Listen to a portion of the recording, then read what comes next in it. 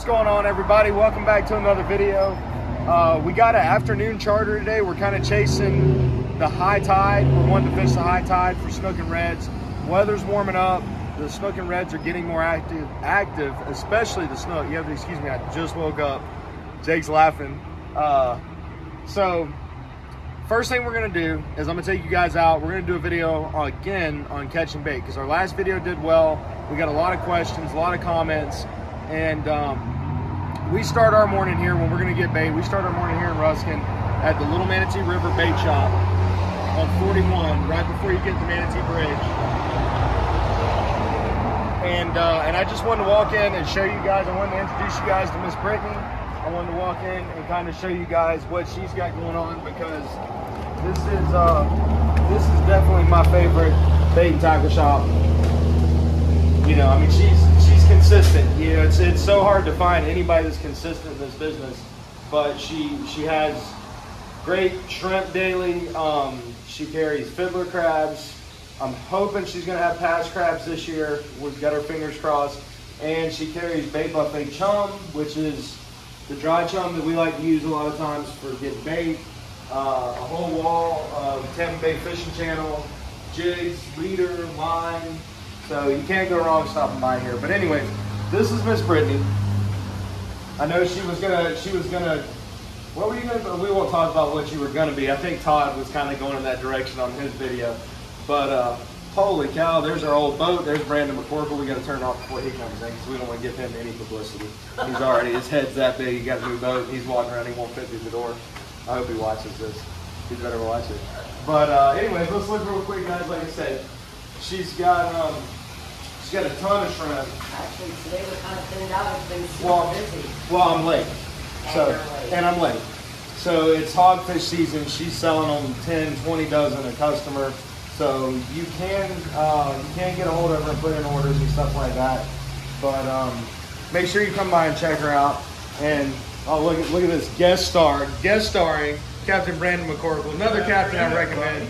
We're uh, we're all pretty much friends on the South Shore here, so I don't uh, I don't talk too bad about him, especially him. He's like eight foot tall. I'm not talking bad to his face. I'll wait till he leaves, then we'll talk bad about him. So let's get some bait and get out here.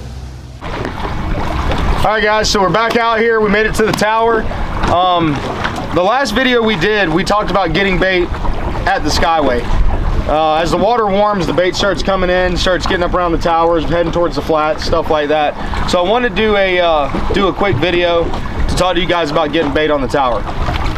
Usually, and and and I got this guy with me, Captain Easton Grimes, the Woodline. What's up, everybody? So, um, like I said, we're going to talk to you guys about getting bait on the tower. I would say normally, 75% of the time, I want to be on the up current side of the tower.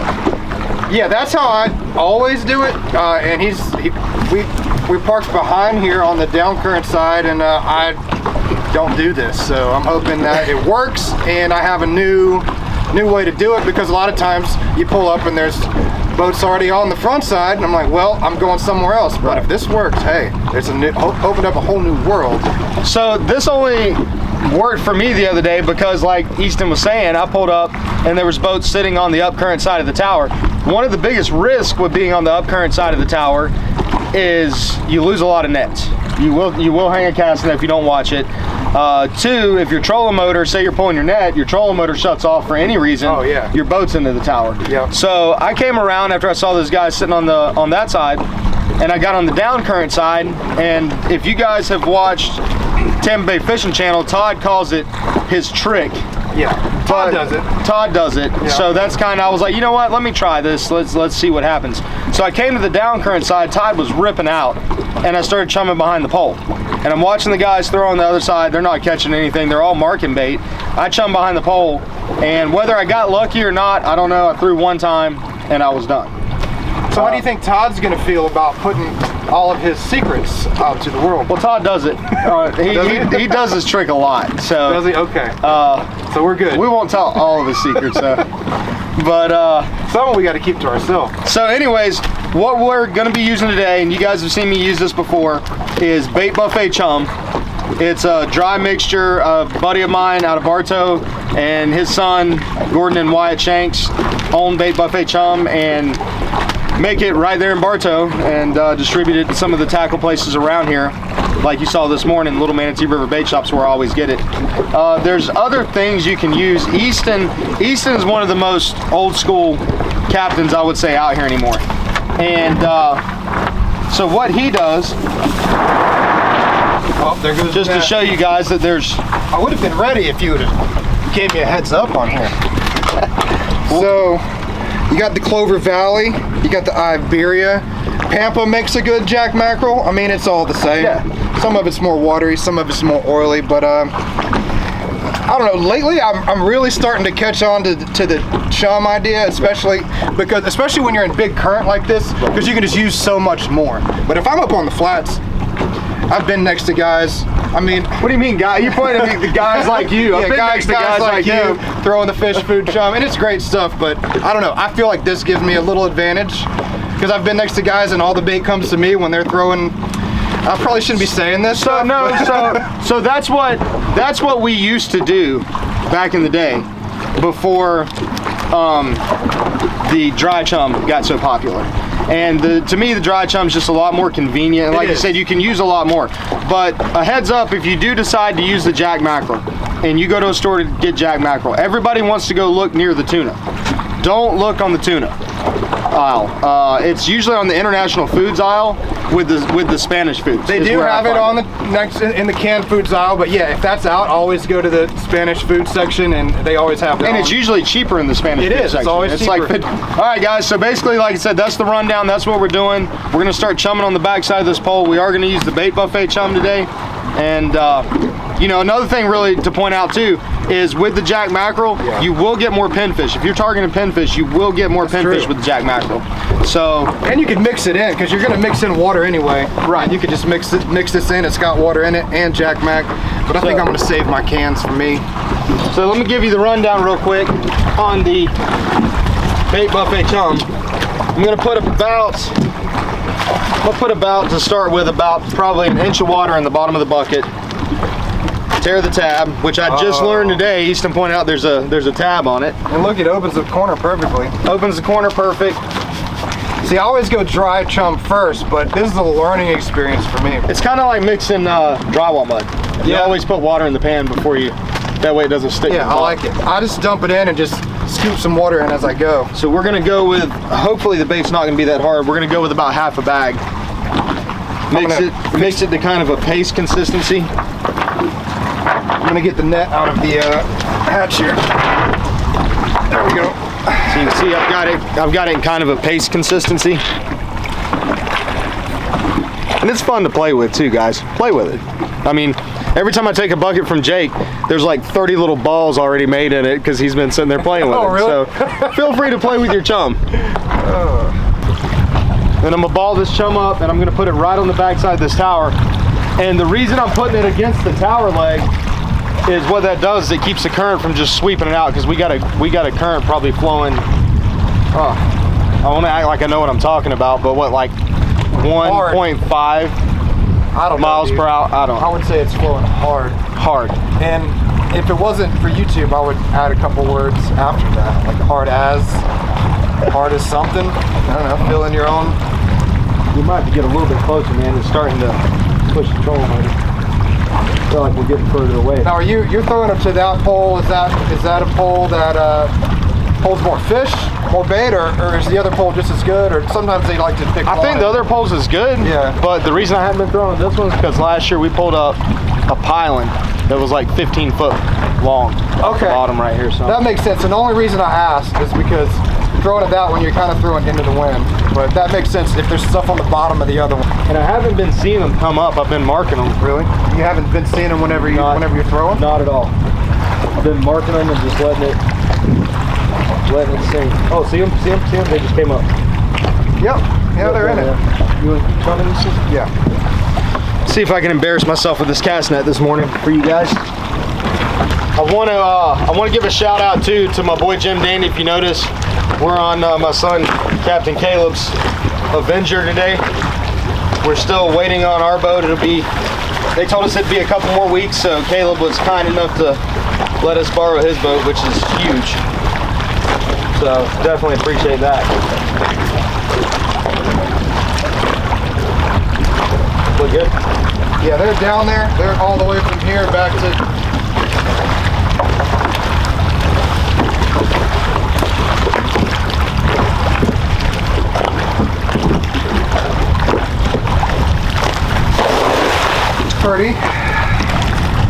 And after you throw, the, the important thing in deep water is let that net sink, let it sink, let it sink, let it sink. A lot of times that bait will be down deep. They'll try to outrun it and go deep. Yeah. Let that joker sink. Yeah, once that net, get, once you think that net's on the bottom, give it a few more seconds. Yep, let it sink more. A lot of people I see on the towers and the bridge throw and immediately start pulling, trying to get Yeah. that bait that they're seeing. Yeah, you see that bait on the top, and if you don't, like you said, when the net hits the water, they got all this area to go, and they Right. go down, they go away, but a lot of times you get it off the bottom. Yeah, a lot of times the bait's a lot thicker down deeper than what it is, what you're seeing. Let's see if we got anything.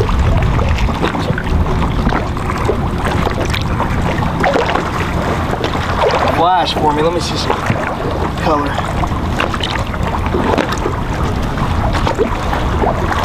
There's a few in there. Yeah, we'll keep chumming. They're coming. We'll keep chumming. Keep getting these guys up. Not the uh, not the best shot in the world. Not the most bait we can get in one shot, but it's a start. And what that lets me know is they're here and they're they're catchable. So now we'll that any day for the first cast. Yeah, it's you know it's it can be tough, especially this time of year. And I'm throwing a 10 foot quarter Talon cast net from Tampa Bay Fishing Channel, and uh, you know you used to remember we thought years ago you had to throw three eighths. It had to be the heaviest net you could get. Yeah. You know I throw a quarter 1.5 and just let it sink. It, it does it does fine.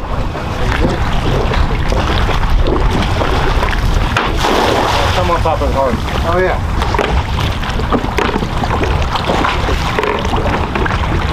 Get that. This one's heavier. This might be that meat shot. This might be that shot. Oh yeah. There it Yeah, is, there folks. go, the baby. meat. The meat. That's what you want to see is it's baiting the horn. There's the meat. Yeah, it was the, it was really the third throw. Right. People, one, people will throw 15 times and finally get a good one. Like it was one it and was done, one and done when I finally got it. when. I finally got it. Yep. There you go. You want to dump that straight in here? Yeah, let's do that. That is what it's supposed to look like. I like that chumming on top of the net. I, think- I gotta figure out how to do that when I'm by myself. Cause I guess I get once you throw, you get start Just chumming. hurry up and start chumming. Yeah. That was a shot. I like it. The Avengers got one of the largest live wells known to man. Known to fisherman. It's huge, dude. Caleb told me. Caleb told me you could put enough bait in here to run like six charters out of it. I mean, that was a shot right there, and we didn't come close to filling. it. That's pretty impressive.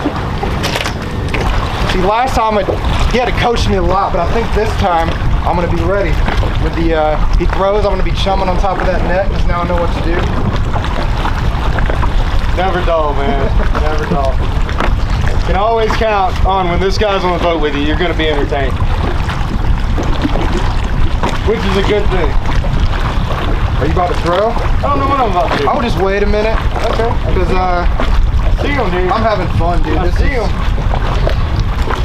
Yeah, they're down there. I don't want to throw on him. Okay. You ready? Yep. Oh, dude, I'm chumming before the net even hit the water, dude. Not a great cast there, but When you're in deep water, though, sometimes it doesn't matter because once it gets down there, it kind of just opens yeah, itself up a it little bit. doesn't matter.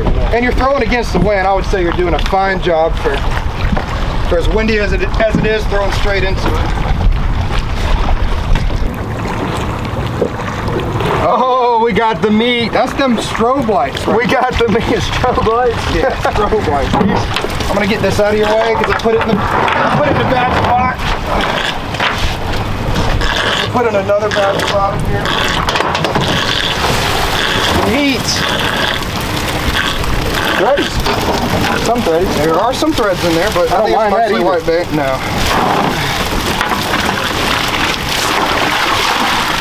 And I just want to give everybody a PSA. Whenever the captain uh, catches the bait, or whoever's catching the bait, I know what you're let, fixing to say. Let him deal with the net because everybody wants to be helpful. And I get it. They come and they're just like trying to shake them out. I'm like, leave me alone. It tangles the net, is what it does. I knew, And, uh, I knew exactly what you were fixing to say. I hate it so much. It is good to be helpful. Pick the ones Yeah. up off the ground. Let the let the net guy handle the net. Dude, I think we might be good. Uh, dude, if we're not good, then I mean, we could just see how many throws it takes to max out this live well because It's still not full. I mean, I would say it's, it's definitely round out, but I, I can't see the bottom anymore.